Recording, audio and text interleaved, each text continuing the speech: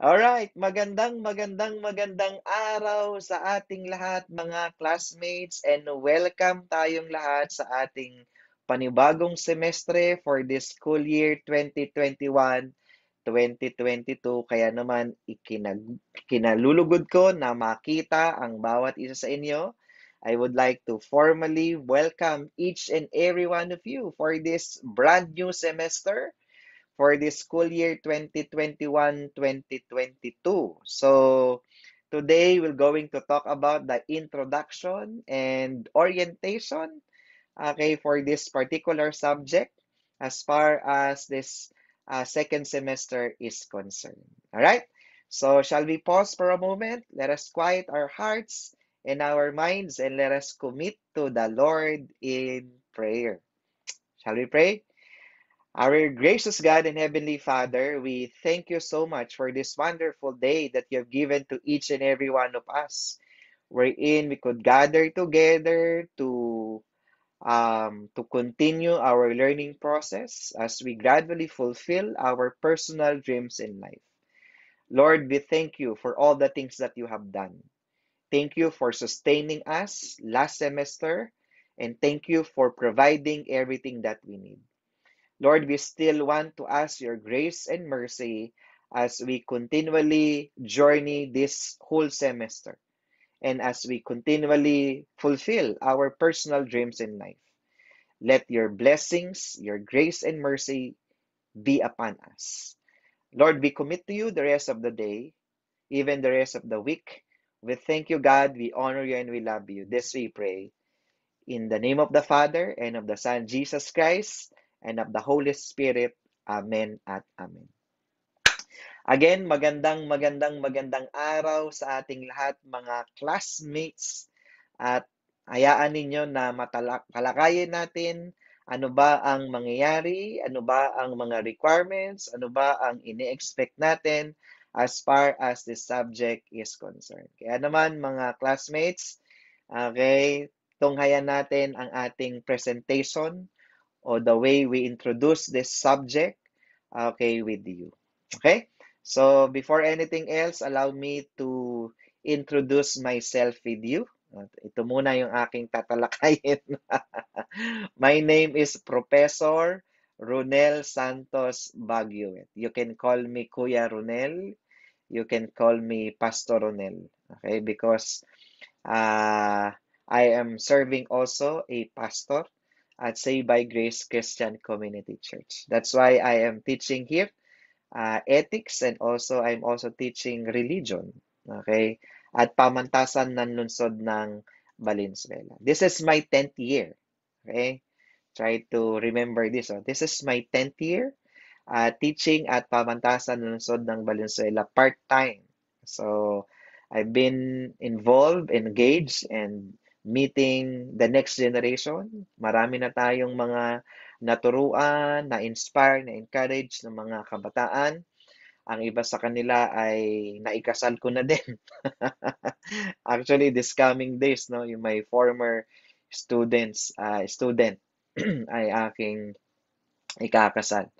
So, yun ang aking journey uh, as part ng pamantasan lungsod ng Valenzuela.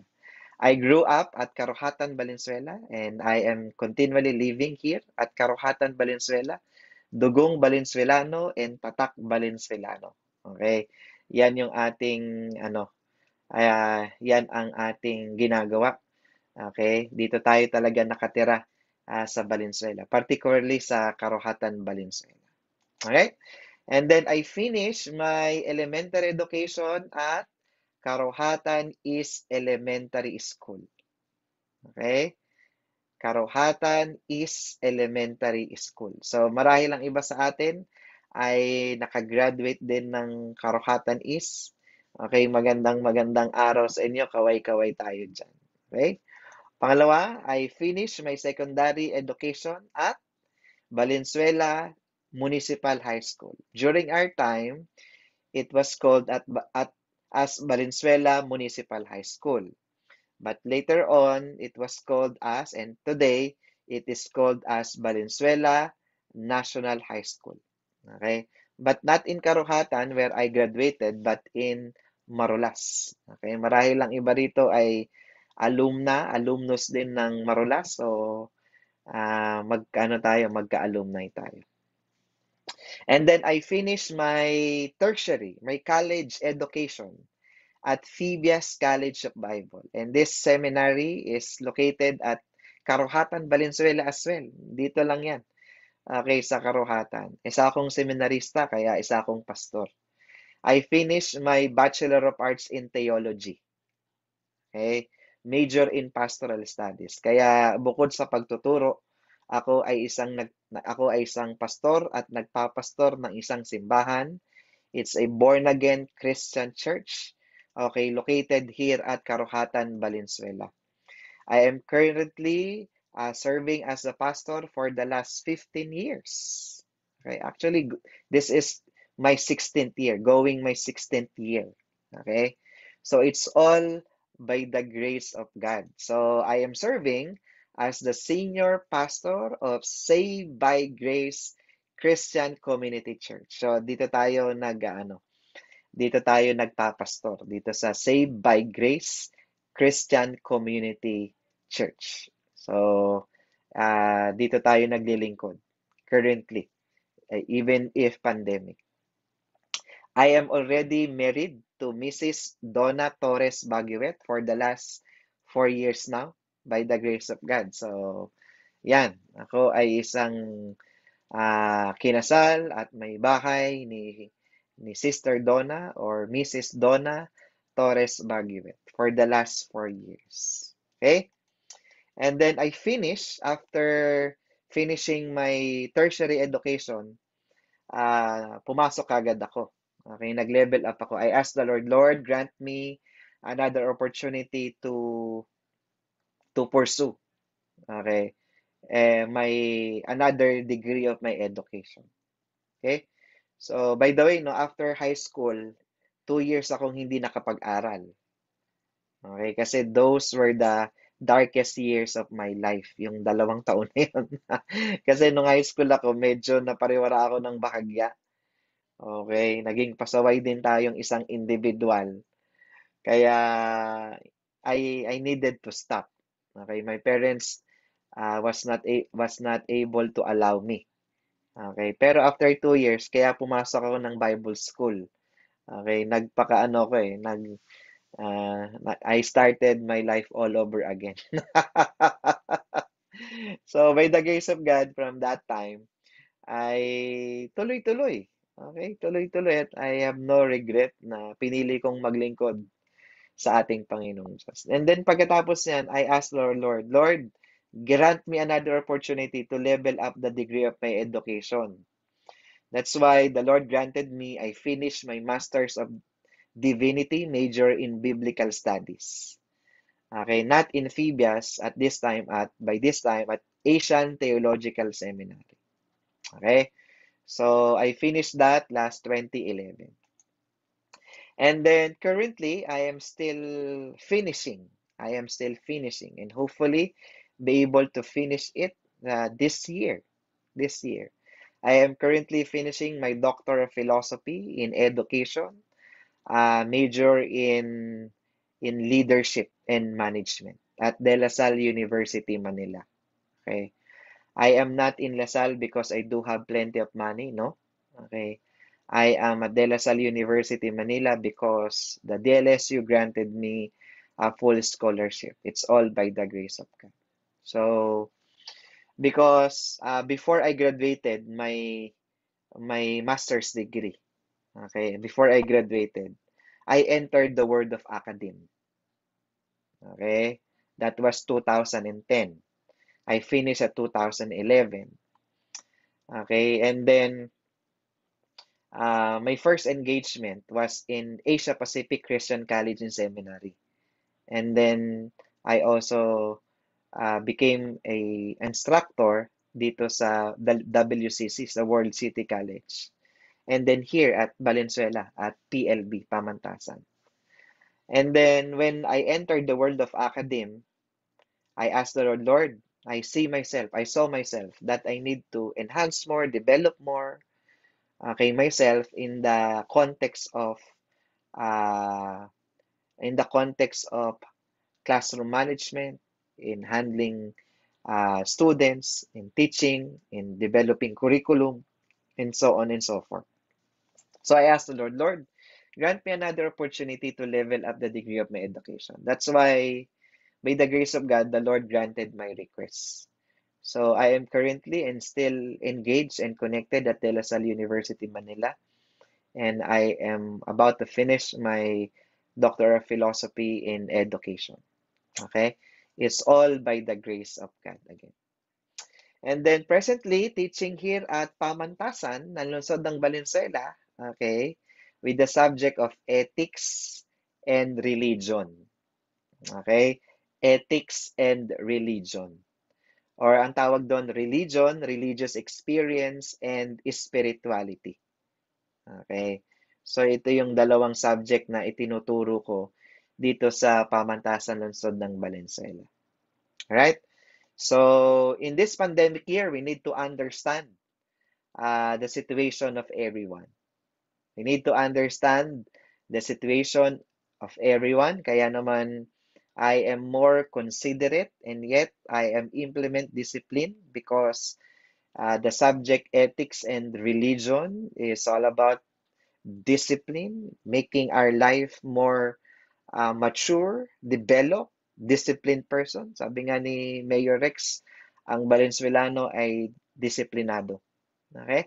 So, I am helping you I will be helping you in trying to develop yourself more in the area of uh, becoming a good individual by the grace of God. So you could reach me anytime at my FB page, okay, at Ronel Santos Baguet. So try to um, Google it sa Facebook, okay, or search sa Facebook, Ronel Santos Baguet, and then because you will be uploading there Okay?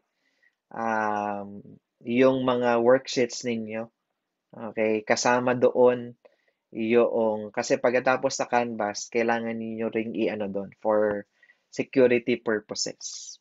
Okay? And then you could reach me at ano, at 0917-310-2668. Anytime. Kung meron kayong questions, kung meron kayong clarification, I am opening my gateway Okay? I am opening my line of communication with you. Kung may mga personal concern din kayo, if you need counseling, kung meron na kayong na, kung kayo ay nahihirapan na, uh, kung kayo ay medyo struggle, uh, okay, mentally, okay, you can, you can also reach me up. Okay, PM lang kayo, text lang kayo, then I'm more than willing to serve you. Okay, even if beyond this subject. So, dahil tulong-tulungan lang din nila, especially during pandemic. Uh, sa pag, ano natin, sa ating mga he- mental health, sa ating spiritual health, okay, sa ating academic life, okay, intellectual life. So, makakatulong tayo dyan. Alright? And then, let's talk about our requirements and grading system. Okay? Ito yung ating titigdan uh, requirements and grading system. Okay? So, worksheet. Okay, ang worksheet natin ay 25%. So, you will be submitting worksheet. Actually, there are eight, eight worksheets. Eight worksheets that you're going to submit uh, for this class. Okay? So, lahat yon ay, siguro ang worksheet naman natin every other week. Okay, every other week ang worksheet. Hindi naman siya every week, every other week. Pero uh, kung gusto niyo naman to gamit gawing in advance, so bibigyan ko din kayo ng pagkakataon na gawin ito in advance. Why not? Para ma I'll be posting the the schedule. Okay, I'll be posting the worksheet number 1 to 4 uh, before the midterm. I-aano ko na ipopost na natin para basahin nyo na and then gawin nyo na at makapag-submit kayo ng on time. Alright?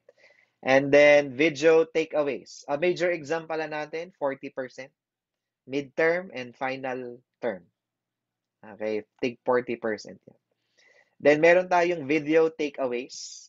Ang tawag dito, video learning takeaways. Okay?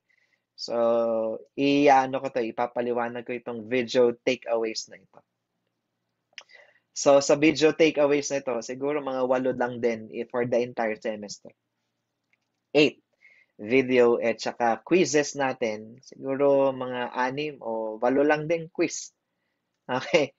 Doon sa ating, ano, sa ating quizzes. So, ang video takeaways, 20%. Ang quiz natin ay 15%. So, total of 100%. The way I compute your final grade, midterm grade plus, okay, final term grade, okay, divided by 2. Okay, divided by 2. Okay, So, that is your final term grade. Okay, final, sorry, final grade. Midterm grade plus final term grade divided by 2 equals your final grade. Okay? So, mamaya, I, I welcome questions. Pag-usapan natin yung um, worksheet. Sa worksheet, at the end, you will narrate your kwento ng kabutihan. Okay? Kwento ng kabutihan. Okay, sa ethics ang tawag diyan kwento ng kabutihan. Okay, sa religion ang tawag diyan kwento ng kabutihan ng Diyos. Okay. Sa ethics, ang ang tatanungin niyo, ang i-narrate ninyo, ano yung nagawa kong kabutihan during the week. Okay, ina-narrate niyo lang siya. Ina-narrate nyo lang siya. Okay? Sa huli yon ha, sa every worksheet yan. Kasama sa huli, narration of your kwento ng kabutihan. Sa religion naman, ang title nun, kwento ng kabutihan ng Diyos. Okay? Pag sinabi nating kwento ng kabutihan ng Diyos, papaano naging mabuti ang Diyos sa buhay ninyo? Ikukwento nyo yun. Recent ha, dapat recent. Okay? Kasi ikukwento nyo yan during breakouts. Kasi ang magiging klase natin, uh, discussion, next week, consultation and breakouts. Okay, sa consultation and breakouts, uh, magko-connect pa din tayo and then we welcome clarifications, questions. And then you will be grouped to narrate your stories. Okay, to narrate your stories daw. Okay? Para ding kakaroon din tayo ng chill time o kaya reconnection, enjoying everyone's presence, especially mga ano tayo, mga first year tayo, hindi pa rin natin mas lubusan nakikilalang bawat isa. Maganda rin na nakakapag-connect-connect tayo. Okay, on that particular breakout rooms. Okay? Breakout rooms natin. Yung platform natin, pwede tayong gumamit ng FB group. Okay, pwede din tayong gumamit ng Zoom. Okay, from time to time, we'll be using also the the Gmeet. Okay? So, yun. Kasi yung kaso ngayong breakout, eh, kailangan talaga natin gumamit ng Zoom. Kasi doon yung may great up facility na breakout facility para makapag-break room tayo doon. Alright. So, kunyari, ngayon, nag-discussion tayo. Okay, next week, ano tayo? Uh, consultation and breakouts. Alright? So, yun yung titignan natin. Okay, next. Ang kwento ng kabutihan is a narrative and paragraph form. Okay, is written in narrative to, a narrative. Pag sinabi nating narrative, may introduction, may body, may conclusion or reflection. Okay? So actually, yung sa worksheet ninyo, ang pinakamataas na points, yung narrative. Yan. So yun yung ano, bibigyan ko na kayo ng tips. Okay, mas malaking portion ng points doon yung narrative. Okay? So, pwede natin dyan ibigay. Tagalog. Pwedeng Taglish. Actually, sa worksheet ay hindi ako tumatanggap ng fully English. Sa iba na lang kayo mag fully English. Okay, sa ibang subject. But may subject ay Taglish or Tagalog, pwede. Okay, not English. Okay? So, yung narrative nyo din ay Tagalog. Tagalog. Okay.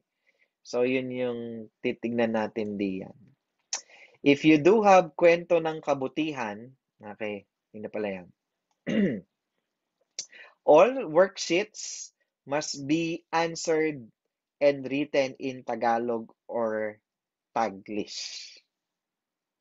Okay?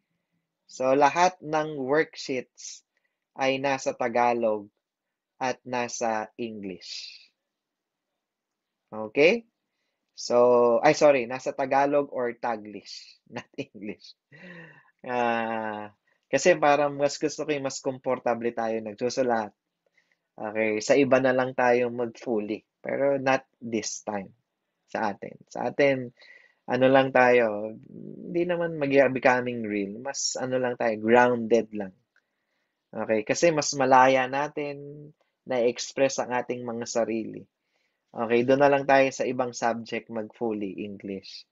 Okay, this subject is not meant for you to uh, is not meant for you to shape and develop your your English capacity or ability. Okay, dito more on character development. Okay? Kasi application na ito eh. Kasi mahalaga itong ethics na to sa ating buhay.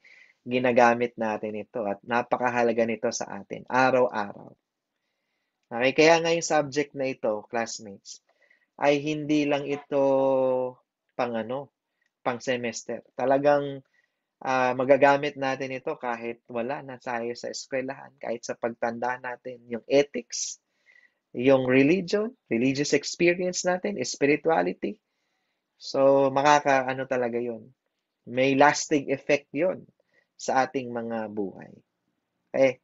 So, yon And then, yan. All worksheets are written, ito, ano, are written in Microsoft Word. Times New Roman, 12 size ang font, and single space. Okay, single space. So, normally, um, dalawang pages yan. Yung worksheet number 1, okay, yung may mga questions kasi ako doon. Okay, may module tayo, babasahin niyo doon, and then may mga tanong. And then sa huli, yung kwento ng kabutihan na ginawa ninyo. Okay? Kapag religion naman, kwento ng kabutihan ng Diyos. Okay? Kwento ng kabutihan ng Diyos. So, yun. yun. Kaya nga dito, so, no, parang required that. Sa una, ganun talaga yung mga testimony ng mga classmates. Sa una, parang parang napipilitan tayong gumawa ng mabuti. Pero later on, kaya nga, we are developing a habit. Okay? The way you apply this subject is to do good to become good individual. Okay? So, hindi lang theory. Okay? Practice din kagad. Becoming an ethical individual. Ethical person. Okay? So, yun ang ating uh, titignan dito, mga kasama at mga classmates natin. Okay? And then, ito, may file name din. May file name uh, ang ating gagawin, kasi may worksheet nga tayong walo.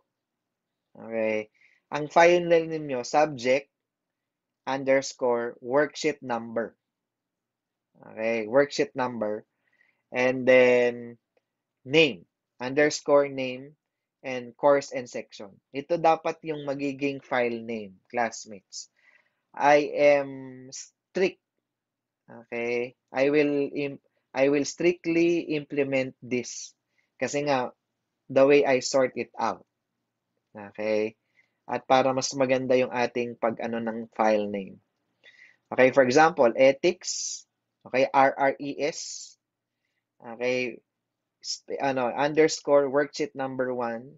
Tapos underscore John Cruz. For example, pangalan nyo John Cruz. And then section.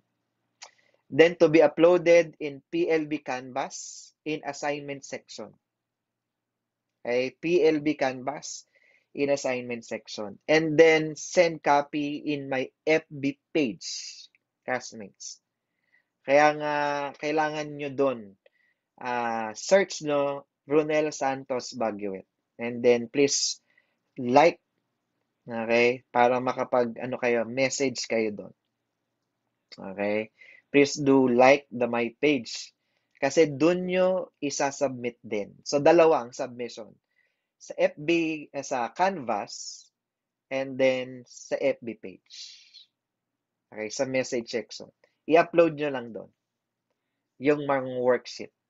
Yung mga worksheet natin. Okay? So, yun ang uh, mangyayari diyan. Okay? And then, ano pa ba? Yeah. Next. Video learning takeaways. Yan. Video learning takeaways. Yung video learning takeaways, mga classmates natin, ay 1 to 2 minute lang yan. 1 to 2 or 3 minute um, video learning takeaway. For example, nagkaroon tayo ng discussion. Okay? Within the day, magkapasa kayo ng video learning takeaway ninyo. Okay? Video learning takeaway ninyo. Okay. So, tingnan natin to muna ha. Um, ang video learning takeaway, bigyan ko kayo ng sample ng video learning takeaway para mas maunawaan natin itong video learning takeaway. Saglit lang. Okay.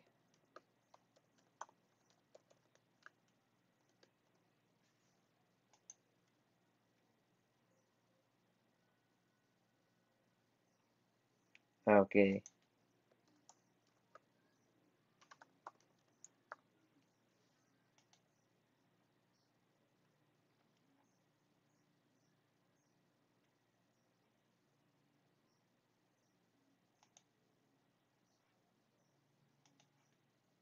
Okay.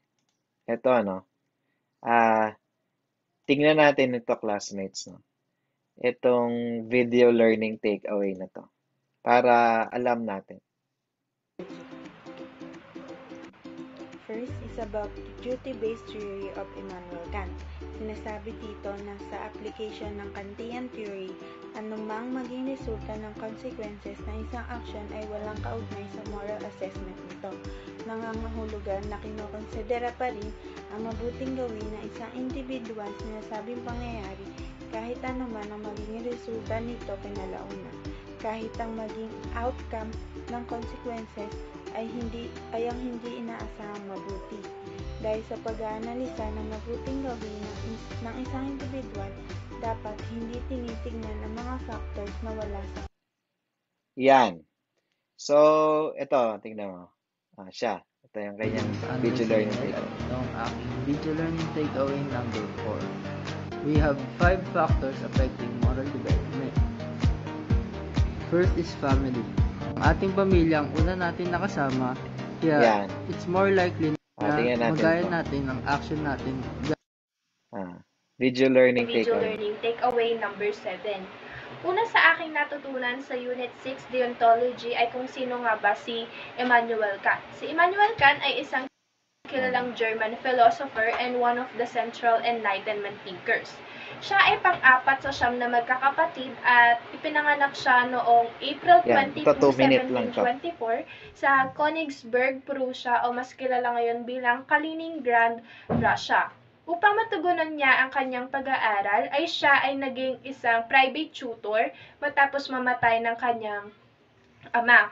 Ilan sa mga gawa ni Immanuel Kant ay ang Critic of Pure Reasons at ang pinaikling version nito na Prolegomena to any Future Metaphysics. Siya ay nagpatuloy sa kanyang mga sulatin o lathalain hanggang siya ay mamatay noong 1804 sa Okay? So, ito muna yung ating ano, titignan. Yan. And then, ang gagawin nyo kasi, every other natin ay magkakaroon tayo ng video learning takeaways. Okay, 1 to 3 minute lang yun. 1 to 2 nga, pwede lang. Sa akin yung 1 to 2 minute. Okay, ng ating ating ano discussion. So, i-ano nyo yan, i-upload nyo yan sa FB group natin. Okay? I-upload nyo yan sa FB group natin. Itong video learning takeaway. So, kung meron tayong 8 na topics, so ang video learning ninyo, uh, normally 7 lang. Okay? Kasi yung pinakahuli, normally sa huli, eh, hindi na natin pinapagawa. Uh, unless, eh, kailangan natin gawin. Pero sa aking mga ano ay hindi na natin ginagawa. Okay? So, ang tawag natin dyan, video learning takeaways. Mga one lang. Okay? One to two minute lang. Kasi, kunyari, nag-discuss tayo ngayon, within, dapat within the day, meron na tayo kagad video learn. Ang, anong purpose nito? Ang purpose nito, kayo din, nakakapag-share din kayo ng knowledge sa iba. Kasi nga, papanoorin din kayo ng classmates ninyo. And according sa studies na nare-review ko sa mga naging previous classmates ko, may retention din, may tumatatak din sa kanila kapag nagre-review sila, kapag pinapanood nila yung mga video learning takeaways ng classmates nila, may mga natututunan din sila. Ay, kaya nga dito, yung pagkatuto, hindi lang puro galing sa akin. Hindi lang puro galing sa dito sa module, kundi kayo rin mismo nagiging nagiging way kayo para para makapag-facilitate, makapagpadaloy ng kaalaman. Okay? So, yan yan. Kaya maganda rin na nakakapag-share tayo ng video learning takeaways natin. Actually, kinumpile ko nga yung mga video learning takeaways. Okay, may mga nag-compile dyan at uh, mainam din na uh, kasi maraming mga learnings dyan eh. Maraming mga learnings. Okay? Next, yan. Uh, video learning takeaway. Um, only those who are present during the discussion can do the video learning takeaways. Okay? Unless nagpaalam kayo sa akin. Okay, nagsabi kayo sa akin. Sir, absent po ako. Uh, okay lang po ba na gumawa ako ng video learning takeaways? Okay. Tatanungin ko yung inyong reason. Okay, just communicate to me. Okay, kung absent kayo. Pero sila lang pwedeng mag-upload nito sa mga present lang during that day. Okay, itong video learning takeaway. Alright? So, palagay ko marami-rami na rin tayong na-discuss. If you are absent on that particular meeting, inform me in my FB page. In my FB page, ah, on that particular meeting day. Okay, sir, ma-absent po ako. Sorry po. Ito po yung dahilan. Okay lang po ba na gumawa ako ng video learning takeaway? Class, believe me, I'm mo I'm I am considerate. Okay, lalong-lalo na kapag valid naman yung inyong reason. So just just ano, just communicate with me. Okay, just communicate lang. Uh, para maayos yung ating ano, yung ating um, yung ating ang tawag natin diyan, coordination and communication. All right. Happy tayo matapos. If you uploaded the video and you were absent during the discussion, then you will be marked zero in your worksheet. Kaya wag na lang kayong mag-upload. Kunyari, nakita ko, okay, nag-upload kayo ng video. Eh, tapos absent pala kayo. Wag na, uh, pati yung worksheet nyo madadamay. Okay? Kasi kahit absent kayo, pwede pa rin kayo magpasa ng worksheet. Okay.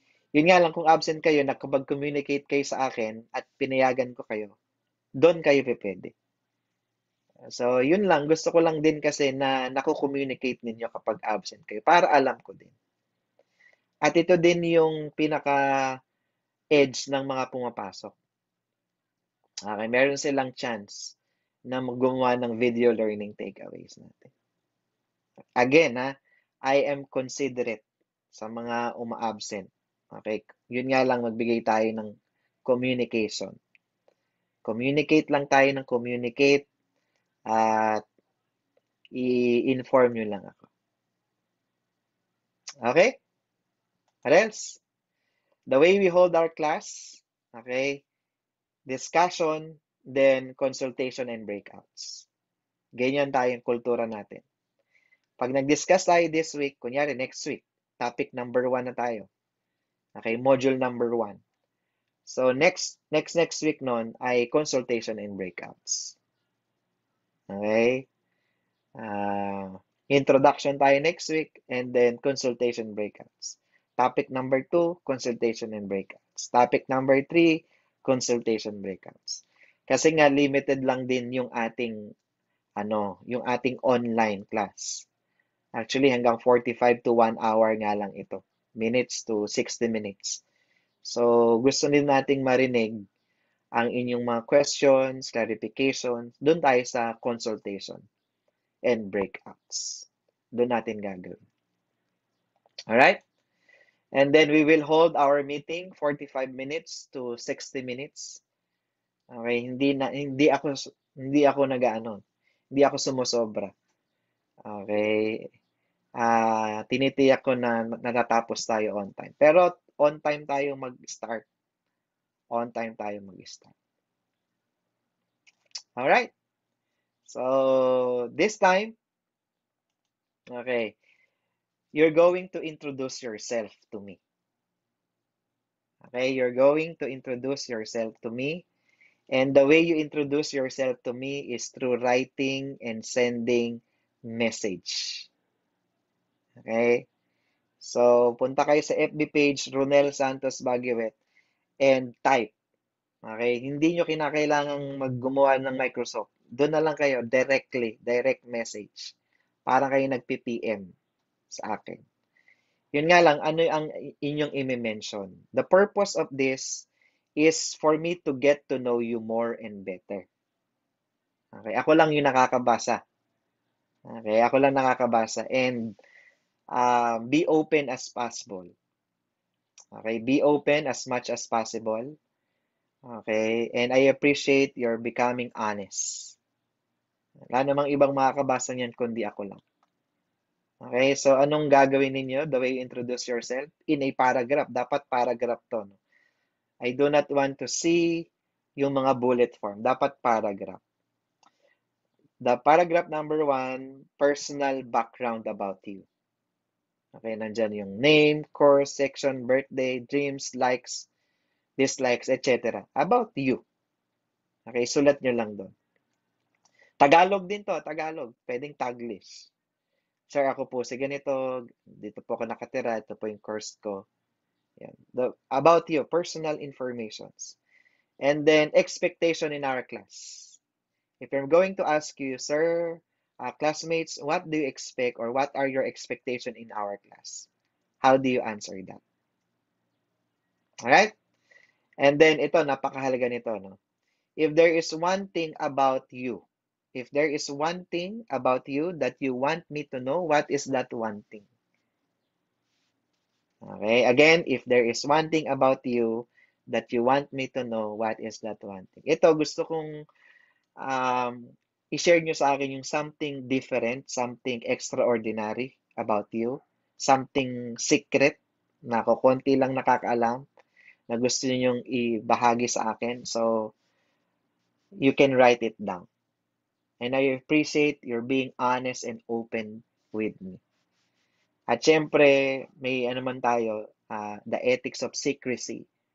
So, ako lang naman ang nakakaalam yan. Okay, so you can share whatever. Sir, ito po ako, ito talaga ako. Okay, this is one thing about me that I, I want you to know. Babasahin ko lahat yan. Babasahin ko lahat. Okay, then kung meron man, prior to this meeting, one thing about you have heard about me. If there is any. Kung wala naman, okay lang. Okay? So, ano yung mga impression, ano yung mga chismis, ano yung mga marites about me?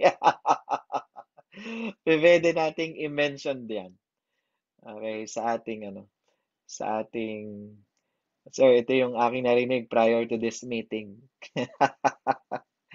so, pwede ba nating i-share? Okay? And then, ito na ang pinaka-last. Questions and clarification. Sir, meron ho bang questions? Meron bang clarification? Mari kayong mag-type dyan sa chat box or pwede kayong magbukas ng, ng microphones with camera if you want. Uh, pwede natin gawin. Okay? So, any questions, clarification about introduction and orientation?